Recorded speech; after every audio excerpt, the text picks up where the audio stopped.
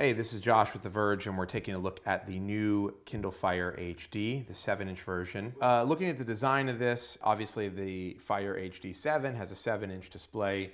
It's a 1280 by 800 screen. It's one of the nicest screens I've seen, uh, maybe the nicest next to the new iPad display. It's got pretty decent pixel density, and the colors are just really vibrant. The blacks are really deep. Uh, and Amazon went on about the reflectiveness here, about how they've sort of treated this to be anti-glare, but uh, it still feels fairly, uh, fairly heavy on glare to me. So it's not like a big improvement in that department. Uh, it's got a camera right here underneath the bezel for Skype conversations, which is uh, an app that works quite well on here actually. The bezel is a little bit bigger. Clearly, they want to give you some purchase for your for your thumbs, and uh, it's got you know generally a nice design. It feels very much like an iPad or a TouchPad. I mean, it's got like the rounded corners, uh, and you go around back. Soft touch material on the back. There's a thin strip of plastic right here which houses dual driver speakers. The website describes these as room filling sound, but the website is high and drunk because they just sound like kind of uh, tinny laptop speakers. But they do sound loud and they are in stereo and they don't distort. So when you're holding this device in landscape like this, uh, you actually do get a pretty good stereo field, uh, but it's, it's not like stereo that you might get out of an actual stereo. One other thing worth uh, really pointing out on the hardware is the placement of the power button, the power sleep button, and the volume rockers. The power button is sometimes nearly impossible to locate when you're using the device. It's completely embedded in the side of the device and you can barely feel where it's located, which makes it kind of a pain in the ass to use. And the volume rocker suffers from the same problem. Inside, it's got a 1.2 gigahertz dual core TI OMAP CPU. It's got PowerVR graphics, a gig of RAM. This version has 16 gigs of storage. They make a 32 gig as well. Uh, it has Bluetooth, no GPS chip, no NFC, if you're worried about that sort of thing. Uh, it's relatively bare bones. It does have a light sensor, an accelerometer, and a gyroscope. In general, performance was really good. Uh, game performance was, I would say, excellent. I was playing Dead Space on it, which is one of my tablet go-tos, and uh, I thought performance was very good. As has been pretty well documented, this is running Android 4.0 Ice Cream Sandwich.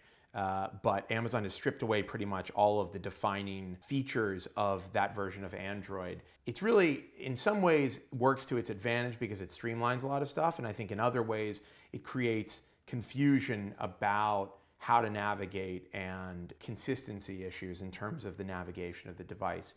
Additionally, Amazon software, the layer that they've added to Android is not that smooth and can be kind of sluggish and laggy and a little bit buggy. So the experience is simplified, but in that simplified experience, it's not always perfect. For instance, in places like the keyboard, I think that whatever Amazon is doing has been a detriment to the functionality of the keyboard, not an improvement. It feels sluggish, presses on it seem to take longer, and uh, it's just not a comfortable typing experience. Here you can see the lock screen, which uh, currently has ads on it. In fact, there are ads all over the device. There's a way that you can opt out. Apparently for $15, I have clearly not opted out. And as you can see, you're treated to a variety of different uh, advertisements um, when you uh, lock and unlock the device. So uh, this is the basic home screen. I get the feeling that, that Amazon kind of wants you to hold it in landscape um, instead of portrait, though there's certainly a lot of stuff you do on this in portrait, for instance, book reading. Uh, here's portrait mode. Now, something interesting about portrait mode, you'll notice that down here in the corner is an ad. Uh, and as you scroll through your content, this could be your apps or books or anything else you have on the device, it'll suggest other things that customers have bought uh, and that it wants you to buy um, down below here. Now, when you opt out, this little ad goes away and the lock screen ads go away, but these stay. So it's kind of constantly recommending things for you to buy, which some people may not uh, feel super psyched about. Um, this is a comic I was reading. This is, of course, purchased through Amazon. Uh, and you can see that there's navigation that appears and disappears, uh, which I actually find a little annoying um, because it makes getting around that much more difficult. They've put the home button on the left side here, the back button in the middle, which doesn't make any sense to me. Uh, and they've got this little favorites button, which can uh, you can arrange with your own apps. Uh, it's not exactly multitasking, but um, it, it can kind of stand in for multitasking, uh, but it doesn't show you what you've recently used. Recently used apps are shown here on the home screen. Uh, it can be apps, it can be music you've listened to, it can be uh, web pages you've visited, uh, books you've read, movies you've been watching. So, one of the really notable pieces of the puzzle here is Amazon's ecosystem.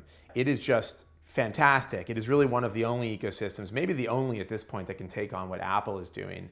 And uh, it actually goes beyond what Apple offers and in some way bests it. Particularly with the Prime offerings, uh, you get a bundle of great content that you don't have to pay for. You've got a flat fee, you pay your subscription price once a year, and you get access to tremendous stuff.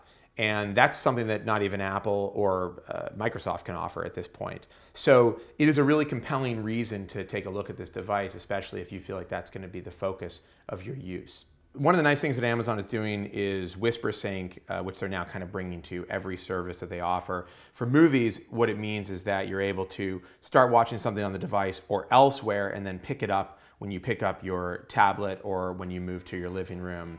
And uh, it's a pretty cool, I have to say, it's, it, it's pretty cool and it shows how big their ecosystem really is because you can do this on Roku, on your Xbox, uh, on other devices like smartphones. So it really is kind of a, uh, a system spanning ecosystem that they're showing off. And, and it works nicely, it works well. Uh, you know, they've been doing the same thing for books where you can sync your books across devices.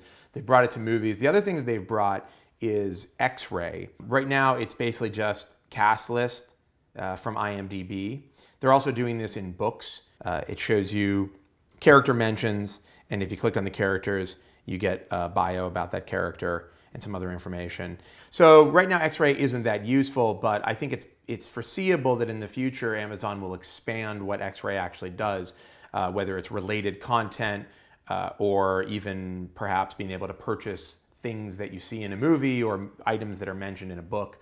Uh, the idea of, of dissecting what the content is and what's inside of it seems pretty powerful. But right now, it's, it's I'd say, a little bit of a sideshow.